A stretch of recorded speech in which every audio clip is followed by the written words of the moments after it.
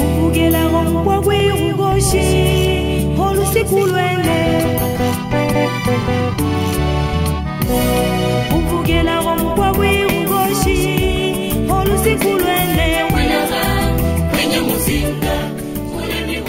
L'agenzia Umbra Ricerche, i giovani umbri nel 2009. L'amicizia è anche quel valore il cui rilievo è più cresciuto nel tempo.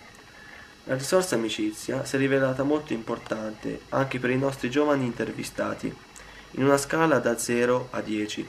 Un valore come l'amicizia ottiene un punteggio pari a 9,9, preceduto dalla famiglia che ottiene il 9,48.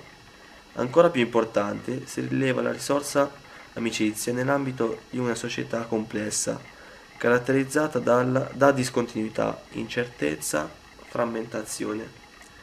La costruzione identitaria non avviene più in riferimento a contesti generali, quali istituzioni e partiti, ma ad una molteplicità di relazioni personali, dirette e quotidiane.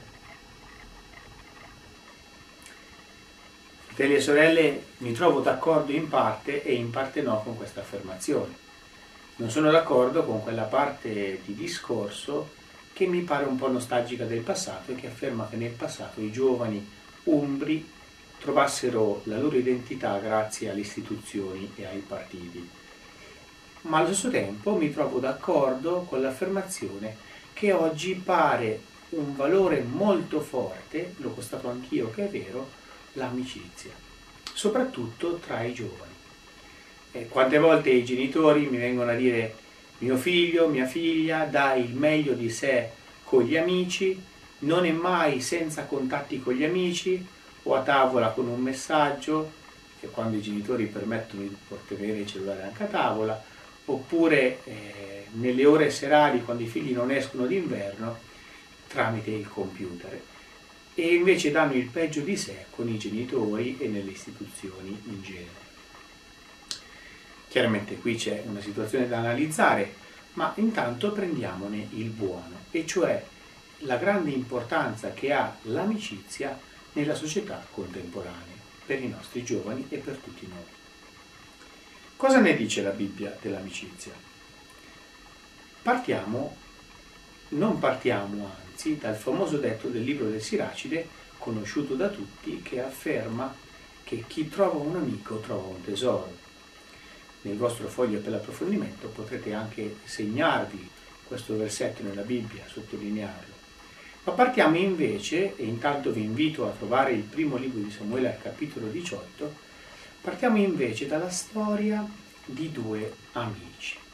Due amici che secondo la logica umana non avrebbero dovuto esserlo, perché totalmente diversi tra di loro. Uno Davide, figlio di un pastore, ultimogenito della sua famiglia, l'altro Jonathan, figlio del re, Saul. Jonathan che avrebbe dovuto essere destinato al trono e invece Davide che diventerà re al posto di Jonathan e Jonathan che sarà già morto quando questo accadrà, che comunque glielo augura fin dal, fin dal tempo in cui si sono conosciuti. Quindi là dove avrebbe, dove avrebbe dovuto esserci eh, discordia, gelosia, invidia, invece c'è amicizia. Sentite cosa dice il primo libro di Samuele al capitolo 18 a proposito della amicizia tra Davide e Jonathan, sicuramente una delle più belle di tutta la Bibbia.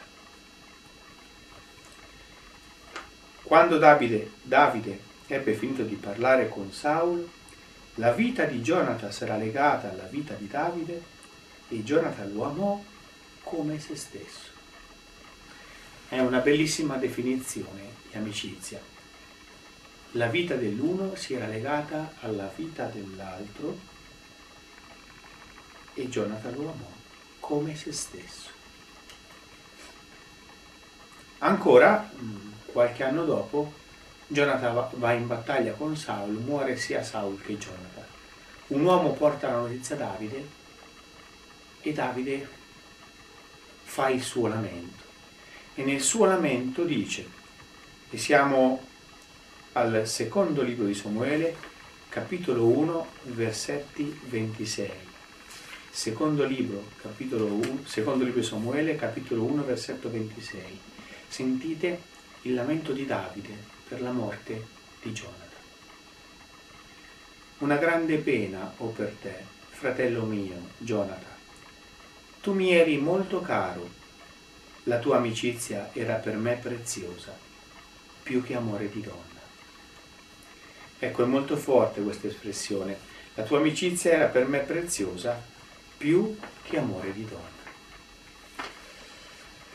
Il Nuovo Testamento. Grazie a Gesù questa verità è ancora più forte. Prendiamo per esempio Paolo e prendiamo in considerazione la parola fratelli. Paolo, se noi prendiamo le sue lettere e ci aggiungiamo le lettere degli altri apostoli che sono nella Bibbia, ma comunque escludendo i Vangeli e gli atti degli apostoli, la parola fratelli nella Bibbia, in questa parte di Bibbia delle lettere degli scritti eh, dell'Apocalisse, compare 139 volte. 139 volte parlando agli altri un apostolo li chiama fratelli e mai in una relazione di sangue. Sono sempre fratelli, ma non fratelli di sangue. Ecco, i cristiani sono più che amici, sono fratelli. Com'è possibile però che due persone siano fratelli o sorelle se tra loro non scorre lo stesso sangue? Il motivo è questo qui, è che noi siamo uniti a Gesù e in quanto uniti a Gesù siamo uniti a tutti coloro che sono uniti a Lui. È come se in noi scorre il sangue di Gesù. Faccio un esempio che renderà la cosa molto più semplice da comprendere. È l'esempio di moglie e marito. Sono fratelli e molto più che fratelli. Eppure tra di loro non scorre lo stesso sangue. Com'è possibile che due persone nel quale non scorre lo stesso sangue si sentano così unite, da essere fratelli e più che fratelli? La unite l'amore. L'amore è capace di rendere fratelli due persone che non lo sono, e più che fratelli, marito e moglie, una carne sola. Ecco, lo Spirito Santo, l'amore di Dio che è stato riversato nei nostri cuori, ci rende fratelli e più che fratelli. Direbbe San Paolo, lo Spirito Santo è stato riversato nei nostri cuori. L'amore di Dio è stato riversato nei nostri cuori e siamo diventati fratelli, più che fratelli. Chi non ha fatto l'esperienza di scoprire nella propria vita che il giorno in cui Gesù l'ha invaso con il suo amore, in qualche modo il suo rapporto con gli altri non è cambiato. Magari prima parlava male di Tizio di Caio, adesso non ce la fa più. Perché non ce la fa più? Perché nel suo cuore li sente fratelli, più che fratelli. E se anche qualcun altro parla male di qualcun altro, sente un dolore nel suo cuore, perché colui di cui si parla male, lui nel suo cuore lo percepisce come fratello, benché ha una madre diversa. Per concludere dunque questo insegnamento con cui iniziamo l'anno nuovo, non dobbiamo aver paura di volere bene agli altri, sono nostri fratelli. L'amicizia è una cosa bella. Ma attenti però, perché in questa società disgregata, in questa società senza valori forti, il motivo per cui io posso cercare l'altro non è l'altro, ma sono io, la mia solitudine. E allora forza, lasciamoci riempire dallo Spirito Santo, lasciamoci riempire dall'amore di Dio, così che potremo cercare l'altro per l'altro, così che potremo avere tanti amici come fratelli, persone da amare, persone a cui dare amore non persone che usiamo per colmare i nostri vuoti.